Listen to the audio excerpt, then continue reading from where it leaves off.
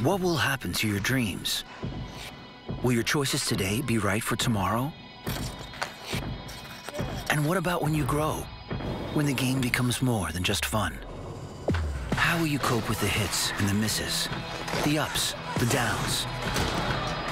What will happen when your dreams are broken? Will they take you down? Or will you get up and go again?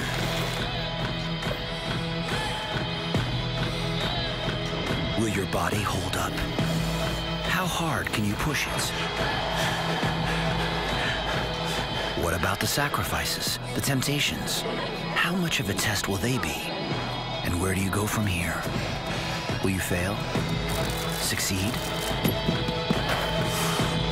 How will you handle the haters, the non-believers? Will you crumble? Or will you stand tall?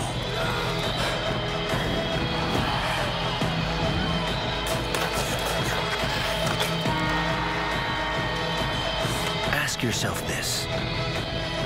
What will become of that moment you've worked your whole life